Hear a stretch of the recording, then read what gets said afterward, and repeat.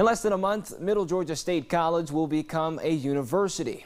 Rebranding efforts are well underway. 41 NBC's Taylor Terrell spoke with a few students who say they're excited about the new change.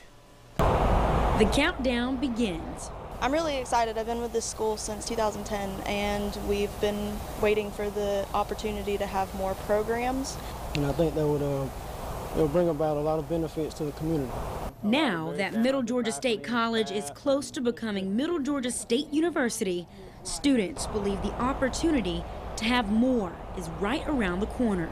You got a lot of people coming out of high school who actually want to go to universities versus just like small colleges. So it should be a good thing.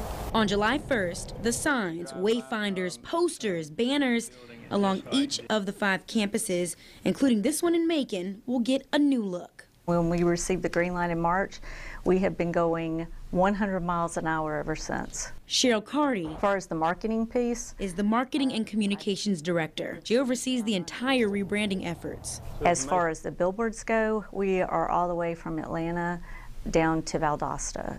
It's a $300,000 job just to drop the word college and add on university to all of the major signs on the highways.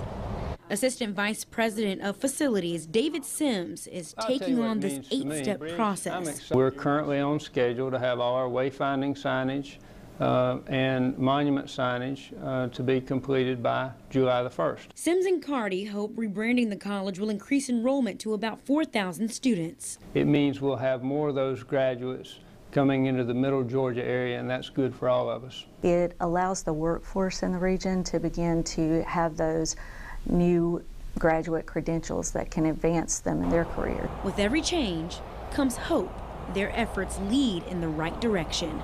In Macon, Taylor Terrell, 41 NBC News. And so we've identified those. Middle Georgia State College becomes Middle Georgia State University on July 1st.